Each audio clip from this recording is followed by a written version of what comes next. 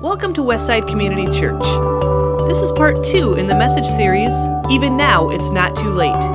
Let's join Pastor John Clark as he begins.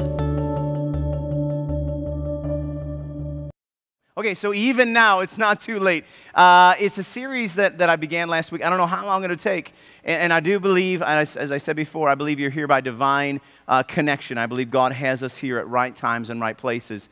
And, today will be powerful. We're talking about uh, one of the three things that these messages have been dealing with. One is responding to rejection. A lot of us have been rejected on this level, on the level between humans. And when you get rejected by somebody, you do uh, one of two things. Uh, and usually, when a, when a dog bites you, you either cry and run away or you kick and scream and try to hurt the dog back, right? When bitten, do you bite or do you run away? We're going to talk about responding to rejection. Here's the tough part for a lot of us is I, I, I don't struggle so much with rejection from you, but it is a toughie when I feel rejected by God. Have you ever been there? Have you ever felt like you have asked God for something and it is doable under his abilities and he don't do it? And how do you respond when rejected by God. We're going to talk about that today. And we'll talk about that in the weeks to come even more. Uh, a second thing that i have been focusing on, and I, and I, will next Sunday, is dealing with depression. We live in northern Michigan. We will run at some point when fall is done here in mid January. We'll run at some point when the sun sets, uh, and we largely don't see it for 45 to 60 days. There is seasonal depression, which is a, which is a huge part of northern Michigan living. But I'm, I'm not talking about that so much uh, next Sunday as much as dealing with depression as, as um, it comes to those um, in dark times. And I will share with you uh, partially my own stuff and my own struggle uh, and, and it seems even weird to say that, and I'll talk more about that next week, but we'll talk about dealing with depression. And then the third and final thing we'll talk about as we work through this is uh, redefining our faith. A lot of us have to redefine our faith. We have placed God in a box about this big, and we've said, God, you can work in my life as long as it's within these quadrants. God, if you, if you want to do anything in my marriage, do it within these things. God, I've watched you work in the past, and this is how much room I'm going to give you. And if you continue to keep God in this kind of a box, God will be limited, and we need to redefine our faith and say, God, I've taken away the box. You do what you have to do, the way you have to do it in my life, and I'll be good. And so we'll be talking about that some today. So today, John chapter 11, if you have your Bibles, I'm going to read about six or seven verses. We'll pray and we'll jump into his word. I'm going to read uh, verses 5 and 6 from last Sunday, and then my real passage for us today is 17 through 22. So, John chapter 11, verses 5 and 6, verse 5 says this Jesus loved Martha and her sister Mary and Lazarus. Yet, when Jesus heard that Lazarus was sick, he stayed where he was two more days. Now, down to verse 17. On his arrival, this Jesus, uh, he found that Lazarus had been dead for four days. He's already been in the tomb that long. Now, Bethany was less than two miles from Jerusalem, and many Jews had come to Martha and Mary to comfort them in the loss of their brother. Lazarus is dead. When Martha heard that Jesus was coming, she went out to meet him, but Mary stayed at home. We're going to spend some time on that verse. When Martha gets to Jesus, she says, Lord, if you had been here, my brother would not have died. But I know that even now, even now, with everything that's happened, God will give you whatever you ask. Uh, we're going to talk about that today, and we're going to talk about where you are in response to God. Let's pray. Father, this is good stuff. Uh, I will get out of the way. I got lots of things I'd like to talk about, but it is of no interest to anyone right now. It is only what you have to say. So I will move out of the way. I will allow your Holy Spirit to have complete reign and rule over this, over this uh, next few moments, God, and, and, throughout our lives. But Lord, this is critical. We, are going to give you 25 minutes here, uh, Lord, and, and, and if you choose for more, we'll give it, we'll give it, we give it. But Lord, I really do believe that you can move in profound ways. There are hurting people who are at the end of the volume of my voice who desperately need your help today. For those who have been rejected, may they feel received. And I just pray this in Jesus' name. And all God's people said, Amen. So let me do this. I can't preach last week's message. It's online. You can watch it online. You can get it in the lobby, but I'll just give you a little synopsis. So if you're visiting or you're becoming a part of our family, you can bring up, bring up stuff. Verses 5 and 6, it says that Jesus loved Martha and her sister Mary and Lazarus. Uh, yet when he heard that Lazarus was sick, he stayed where he was two days. Remember last week we talked about this and, and, and how shocking it is that, that we have learned as little children on up if you pray and anything you pray, God will answer it and God will give you what you ask, right? We've all heard that, correct? But we're reading here in John chapter 11 that that is not so. They prayed, they sent word for Jesus to come because Lazarus is sick. This is not Lazarus, the unknown guy. This is not Lazarus, the loser. This is not Lazarus, the crack addict. This is not Lazarus, uh, a step cousin or, or whatever. This is Lazarus, somebody Jesus loved. And yet, when he heard that Lazarus was sick, he stayed. Jesus stayed where he was two more days. They couldn't even get the attention of Jesus, and, and that's really hard for us to grapple with. But if you've lived any part of your life in connection to God, I promise you, you have had moments where you have called on God and he did not come. What do you do when you call on Jesus? And he doesn't come. What do you do when you pray a prayer in faith, believing that God is who he says he is, and he doesn't show up for two more days? Or maybe he doesn't show up for five more days. Or maybe he hasn't showed up yet. How do we grapple with that? And so we talked about that last Sunday. And if you remember, here's the key. What do you do when, when you call for Jesus and he doesn't come? Is to realize that largely we are determining things according to our course of action. Remember boxing God in. He fits into these uh, the, these parts of my life in this way. And God, when I pray, you come. That's your job. Like a dog in the yard, Jesus is supposed to respond to our prayers. And he does for the most part. But there are times when he doesn't do it. And we discovered in verse 4 that one of the reasons why he doesn't is it's not about us, it's really about him. He did not send us here so that he could serve us, but we are here so we could serve him. And more importantly, verse 4 says that the Son of God may be glorified through it. The reality is, is it's not so important to pray what is best for me, God, but what will bring you the most glory. And see, that's, we struggle with that, don't we? We struggle because we, we really have some needs. One of the struggles we have is is, is it me, God? Is, is the reason why you didn't answer my prayers because I didn't do enough? Is it because I didn't give enough? Is it because I didn't care enough? God, what is it? Is it because my family hasn't always been Christians? God, is it because I haven't been in church in a while and that's why you didn't answer my prayers? And we have all these questions that, that, that we believe are the reasons why God didn't answer. There's others who pray, God, I did give enough. And God, I did serve enough. And God, I did care enough. And I have served you faithfully for years, Jesus. And I called for you to answer one prayer, which you have answered a prayer like that before, and you have come to it. You've answered it. But this time I called for you and you didn't do it. And we literally stand with our arms out saying, What in the world is going on? Is that Jesus? Whose phone's going off? Seriously, I am ADD. Do, I, am I only hearing things in my head? Did anybody else hear the phone go off? Okay, yeah, okay, thank you. Call. If it's Jesus, ask if he's going to make it here before lunch. Does he want to go to the house? What, is he going to come over? Okay, stay focused. Okay, so we stand our, in our living rooms almost confounded for the fact that God didn't answer the prayer that, that, that we gave up to Him. And the reality is, remember, it's not about us, it's about Him. And what will glorify God the most is what matters. And so that was where we were last week. So this week, let's jump into verses 17, 18, and 19. It says, On his arrival, Jesus arrives, and he found out that Lazarus had already been in the tomb for four days. You talk about showing up late. Four days Lazarus has been dead. Do you remember where Jesus is in perspective? He's on the other side of the Jordan. From that Jordan River to Bethany is less than 20 miles. It takes six hours to get from there to Bethany and Jesus is somewhere around two to six days late. Lazarus is dead, and it says that, that uh, Bethany was less than two miles from Jerusalem. And so many Jews had come to Martha and Mary to comfort them in the loss of their brother. I, I want you not to, not to slide by this. I got, I, got I got to walk through this for a minute. Give me two minutes and we'll move on. But, but these verses are critical. One is, and, and stay with me on this, is that often we will pray to God, and I'm talking about rejection here for a moment, okay?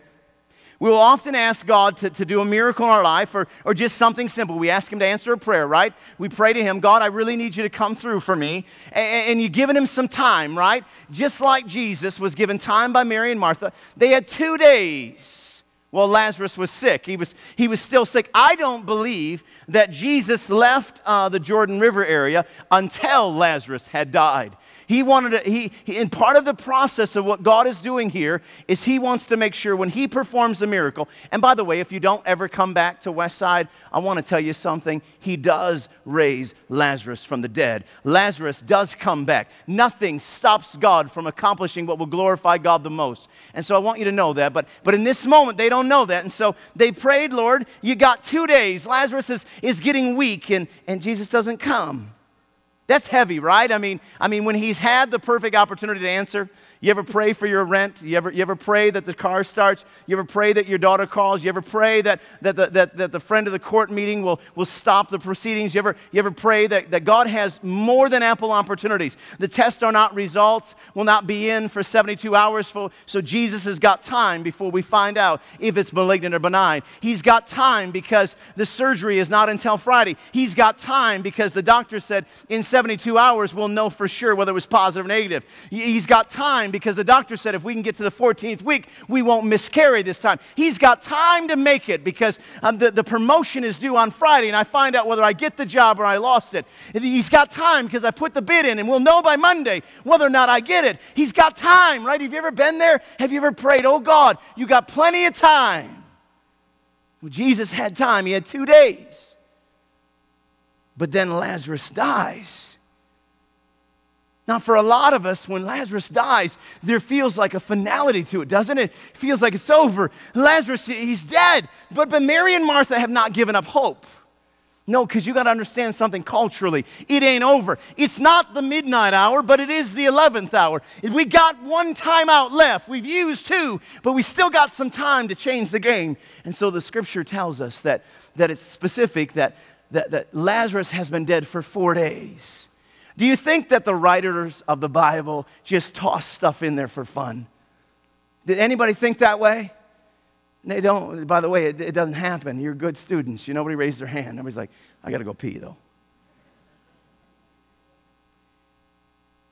Four days. It's, it's, critical. John wants you to know that Lazarus has already been dead for four days. You want to know why that's so important? There was a group of rabbinical priests of that day and age who believed and began to taught that the spirit does not leave the body of a dead person for at least three days, for 72 hours. The spirit remains in the body of a dead person for 72 hours. Next Sunday, when I talk about depression, I will walk you through what it would be like to have a deceased relative and what Mary and Martha would have been exposed to and how traumatic this event would have been for them. I don't have time today. You'll have to come back next week. But, but the spirit remains in the body for three days. But how, when does Jesus come to Bethany? On day what? Four. Now, so for Mary and Martha, even though the rent is due, the tests are coming, we got to make it to next weekend, they don't begin to weep and mourn yet, even though Lazarus dies, because they got three days. The spirit is still in Lazarus. And as a matter of fact, the tomb was left open, just waiting for Jesus to come. Day one goes by, he's not there. Day two goes by, he's not there. Day three goes by, he's not there. And finally, now, day four strikes, and all hope is gone. We've used our last time out. All possibilities have been, have been, have been uh, taken advantage of. We've, we've exhausted all of our resources. There is no plan B now for them. And so when John writes, it's four days, he wants you to know that for Mary and Martha, they have no other option but to believe God has failed them. And they take it personal. Do you know what's even worse? Is the next line in verse 18 and 19 when it says, And many Jews came to comfort Mary and Martha. How much more is there salt in the wound for them when Jesus, who loves them and knows them and has been with them before, he don't show. He don't send one of his disciples. He doesn't send a note. He doesn't text. He doesn't email. He doesn't call. But people they don't even know. Jews from Jerusalem made their way to Mary and Martha's house to give their condolences. Jesus does not make the viewing. He does not make the funeral. He does not make the graveside service.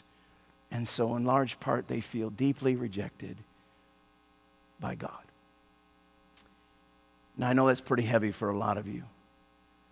That when you begin to grapple with the emotions of how do I respond when I've been rejected by God. Now, not all of us have ever been rejected by God, by the way. I know some of you are in here and you've never had a prayer that you've prayed that hasn't been answered. I praise God for you. So you ought to listen carefully to the rest of us as we talk this through. Because there are times when we feel like God had ample time to answer our prayers and He didn't, so what do we do? So here's verse 20, probably my favorite verse. This can't be your life verse, by the way. Uh, it doesn't work as a life verse. If some of you are highlighting and saying, Oh, I love this verse, this is good stuff. It's not that kind of verse. You don't write this at the bottom of a birthday card to someone that you're wishing happy birthday. It's not a get well card you send to your grandmother, okay? But here's verse 20. Verse 20 says this It says, When Martha heard that Jesus was coming, she went out to meet him, but Mary stayed at home. There it is, verse 20. It, it seems simple, but if you know anything about women, and by the way, I know nothing about women, okay? I am not about to step into those waters because women, you are amazing, okay? And that's the best word I could use. I, I, I know, because Jeff, you said to me at the door, crazy is one of the words you used when I said women, but I said amazing. Uh, and and uh, I just step back here in case any of there's flying objects, so. There's something to be learned about women. I don't protest to know everything, but I like this line. This is the National Enquirer uh, of, of, all verses in the Bible. When Martha heard that Jesus was coming, she went out to meet him, but Mary stayed at home. It is, it is the diversity of two decisions of what happens when Jesus finally arrives. Six days, it's over. Lazarus is dead. There's no hope, no chance. And then Jesus shows up.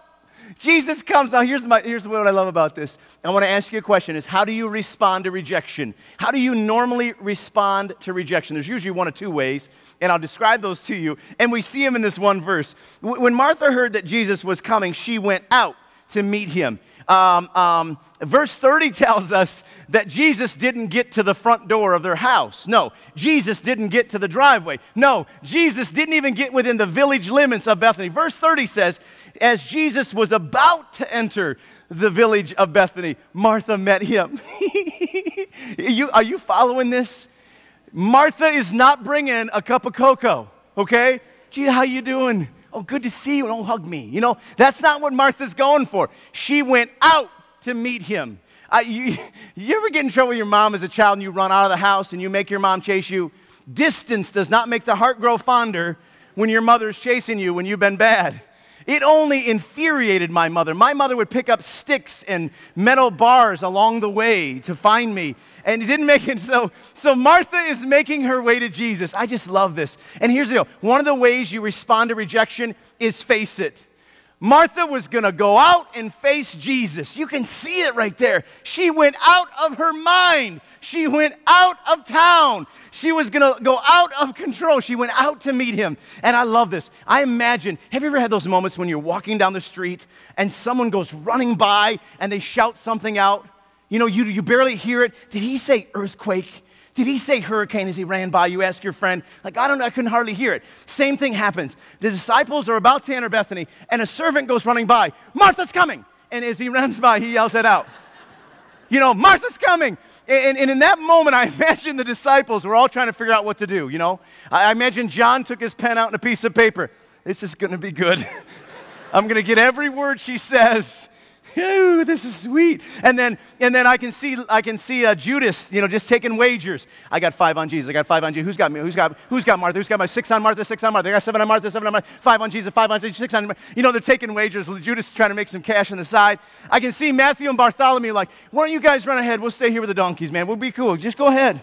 Go ahead. I've seen her tick before. I'll tell you what. Go ahead. Do you remember in Luke chapter 10 when she got mad at her sister? She came to Jesus and said, Hey, can you tell her to get up and get some work done? Because Martha's a busybody and she's going to be busy on Jesus now. And so here's, here's the deal. And then I see Peter. I see Peter in my mind. He walks up beside Jesus, just standing there like, So what do you think's going to happen?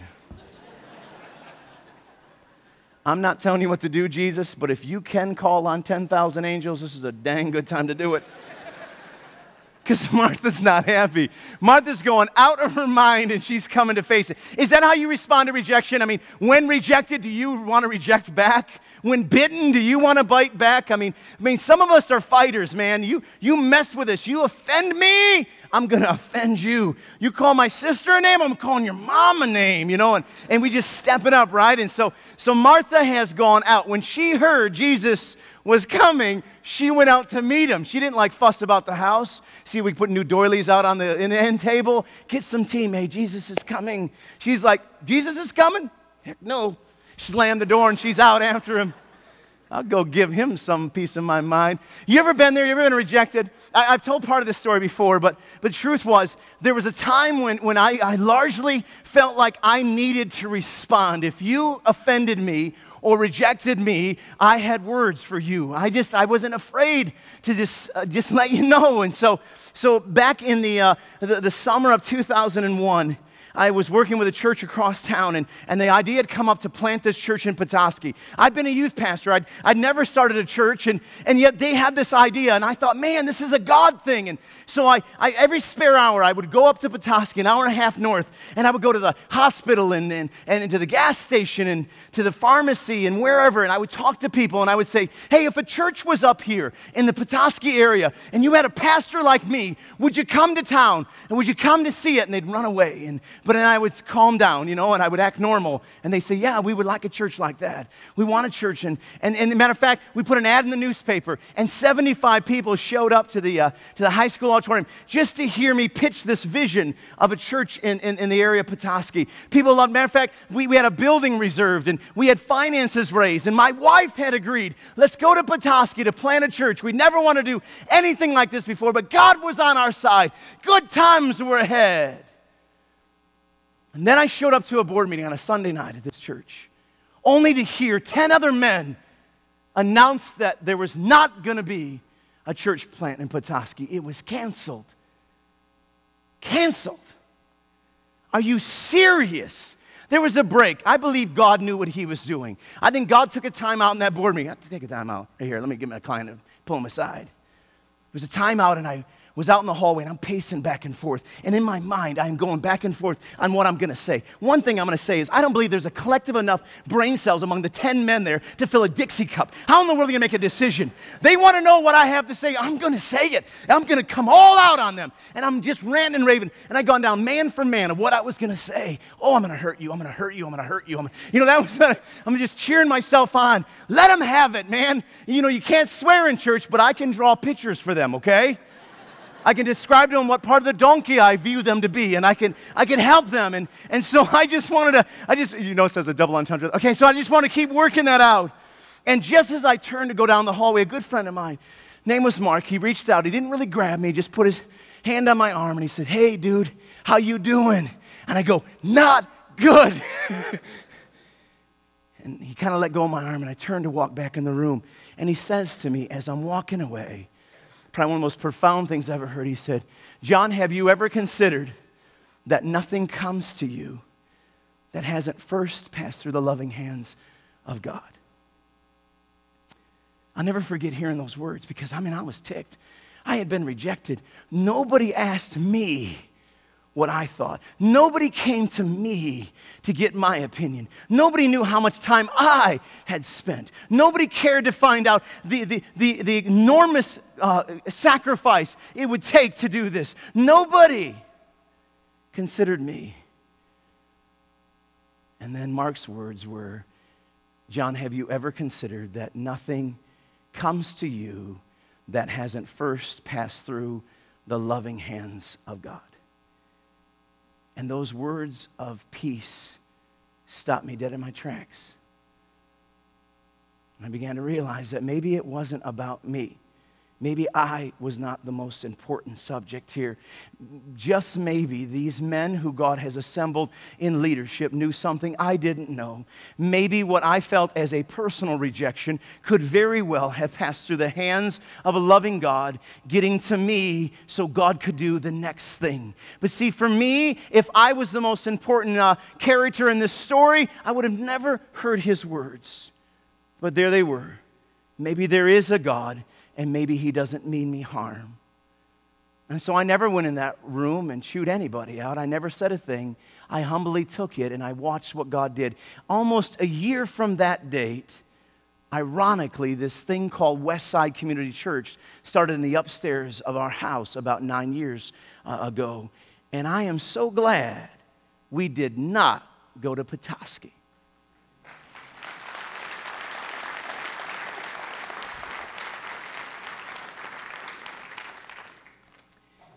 I don't think there's anything good in Petoskey. But, anyways, um,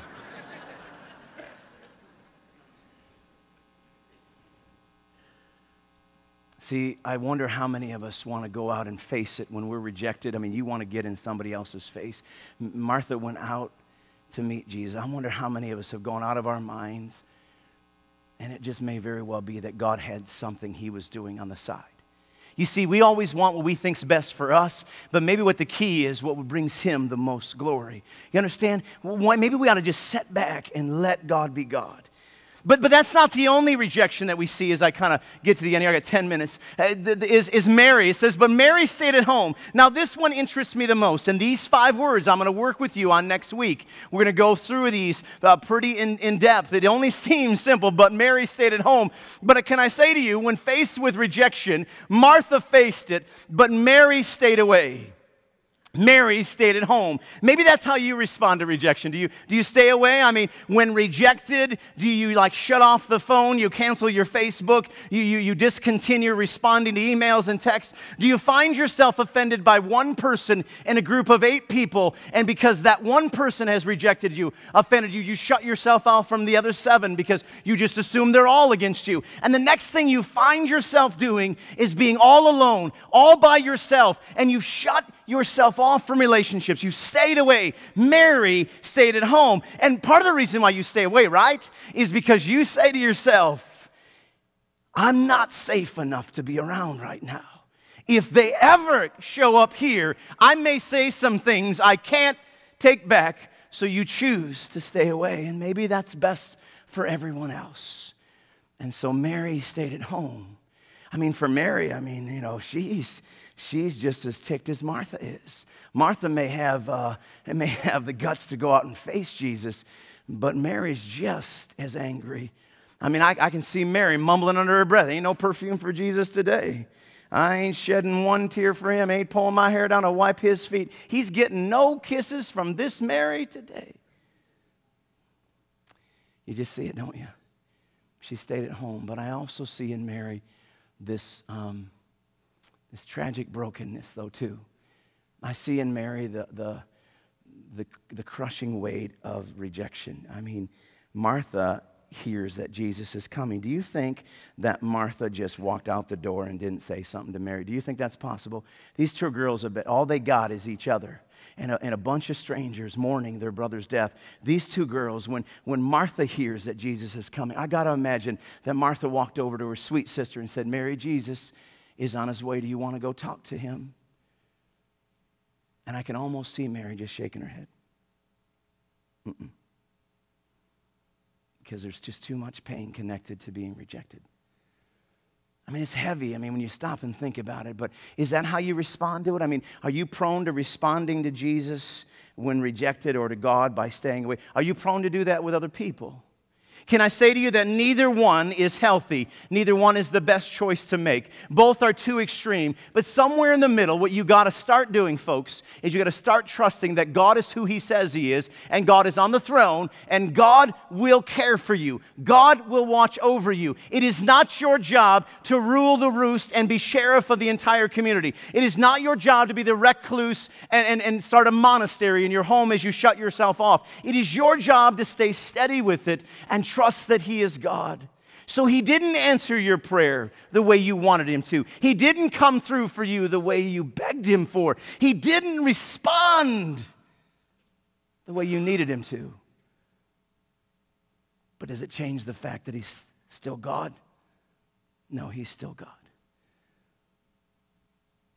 I think the wisdom of my friend might be well worth our consideration that nothing comes to us that hasn't first passed through the loving hands of God. That doesn't mean that some of the things that you face won't hurt. It doesn't mean that some of the things that you'll go through won't still cause you sleepless nights, but it does mean that there still is a God. I, I, need to wrap up today. I want to go to verse 21 real quick. Verse 21 says that, that, that when Martha gets to Jesus, she says, Lord, if you had been here, my brother would not have died. Now, this is Martha. Remember, Martha's expressing herself. This is all that John pens, right? This is all he writes down. Really, Martha used 11 or 12 words. That's all she said when she got to Jesus. John probably just did the, uh, you know, the abbreviated version. Wow, I cannot write those kind of words on this piece of paper. I don't know. I don't want to degrade Martha by any means. But you get the idea. She meets Jesus on the outskirts of town. And maybe that's all that she had to say in the first statement. If you had been here, my brother would not have died. I mean, don't you hear the heaviness of the pain in her heart when she says it? Don't you hear somewhat of anguish? I really hear somebody who's been hurt deeply, but I also hear something else. Not only does she say, if you had been here, my brother wouldn't have died, she is saying, if you had only cared enough, if you had only loved me enough. I wonder how many uh, of us have used if you had God if you had only been here, if you had only done this. How many times have you called out to God in anguish and anger, almost confronting Him face to face and saying, If you had only loved me enough, if you had only been here for my husband, if you had only been in the vehicle, they wouldn't have died. If you had only knew how much a child meant to me, if you had only understood that the raise was necessary, if you had only allowed the business to stay open, if you had only done this miracle. And we do that in our lives. And so some of us, and listen carefully, have said some very strong strong things to God in our prayers, and we've used some if onlys. Some of us have kind of made a, a line in the sand between us and God. And I, um, I wonder how many of us are struggling today even to say, John, I don't think there's a chance anymore for me and God. Is that you? I mean, do you feel like there may not be a door open for you yet? I mean, is it possible that you've been considering that you've burned so many bridges. I mean, you've cut things off between you and God that there, there's no way back. I mean, John, it's not even worth me even trying to listen to any more of what you have to say because I've said some things to God that has uh, severed the relationship. I can't even repeat them, things I've called out to Him. And because I felt rejected by Him, I don't believe it's even possible for me to get back to Him. And that, my friends, is a lie. Because look at what Martha says 11 words. If you had been here, my brother would not have died. It looks like it's anger. It looks like it's resentment. It looks like it's final. It looks like she's closed the door. But look carefully. Do you see it? Look carefully. There's something there that maybe, maybe it's in you. Maybe it's also in you because you made some things final, but look at it carefully. The first word, if, there's two letters, an I and an F, but I see the F, and, and that, that alarmed me when I first saw it. The, the next word is had. There's an H and a, and a D, but in the middle there's an A. Look at it. See, it's not easy to find when you first see it. Go to the last word, died. There's a, there's a letter I. Pull that one out. And then in brother, there's seven letters, but the middle one is the T. Pull that one out. And then the word have. We, we take the H from there, and if you look close enough, what you find in the 11 words, that sounds like Martha's done. It sounds like Martha's given up. It sounds like Martha no longer wants the relationship. It sounds like Martha says, I'm out. And yet, what I see and what I find is that Martha still has some faith. And I bet you any money, if you'll look carefully at what you have said, I bet you there's still some faith. Is there? Is, is there a chance that you still believe that He is God. I'm begging you, think about it. Stop. I mean, I know you've said some things, but, but is it possible that He's still God? Do you have faith to believe that He can still do a miracle? Andy, will you come? We got to wrap up. The last verse, verse 22 says, But I know, listen to Martha. She goes on, But I know that even now, God will give you whatever you ask. Do you see that? Look at her faith. She says, But I know. Can I ask you, what do you know? Listen to me as we wrap up. What do you know? She says, But I know. I love that because that's really where it starts for us. Our faith may be meager and it may come from here and it may come from there and may be borrowed there and it may be, it may be on loan here, but we pick and, and, we, and we put it together and, and then it, there's still some faith. It ain't much, but it's enough to say, But I know. What do you know? Do you know that God loves you still? Seriously, stop and think. Do you know that? Do you know that He still loves you? Do you know that the reason why He didn't answer your prayer the way you wanted Him to was not because He doesn't care? It's because He cares so much that He couldn't answer it the way you wanted Him to. Do you know that? Do you know how much his heart breaks that you've turned your back and walked away in disgust? He, he would move heaven and earth if he could to absolutely change the way you feel about him. Do you know that? I mean, we're talking about a God who sends his son to die. Jesus is going to die for our sins. And in this moment, as Martha confronts Jesus, she sees in his eyes, I know some things. You don't mean me harm, do you? Same Jesus she was talking to that she knew things about is the one you and I pray to. I'm challenging you today. Dig deep, find the faith to believe and to know some things about him. He's still God. She says, Even now, I love this. This is where the title comes from. Even now, God will give you whatever you ask. He said that to Jesus, but I'm saying it to you today. You need to know that even now, God will give you whatever you ask. Even now, mm, it's, it's past the two day mark when he was sick, it's past the three day mark when, when the spirit's still in the body. It's on day four. But even now, my God can still do miracles. Even now, it's not too late. I believe, I know some things about God. And even now, the relationship that's been severed, the money that is gone, the business that is closed, the ministry door that hasn't been opened, the child who hasn't called, even now, it's not too late. Because why? You got to know who God is. God loves us too much. I'm not about to give up on God because He has not given up on us. I've been there where the prayers haven't been answered, but I'm telling you right now, I know. Even now, it's not too late. Listen, what else can you do? Really? Are you going to stay away? How's that working for you? Come back to Jesus. Come back to, turn back to Jesus. Seriously, what else can you do? Oh, I'm so glad He's never given up on us. And I'm not going to give up on him. I'm telling you right now, folks, he loves us. Here's the deal our prayers have to be like this Jesus, I pray for the faith to move ahead, to let go of the past. We've hung on to some things we got to just let go of, folks. And to see me the way that you do. Lord, I pray that I would see myself the way you do, that you, you do, you care intimately for me. And so in that, I turn to you, Jesus. And what else can I do?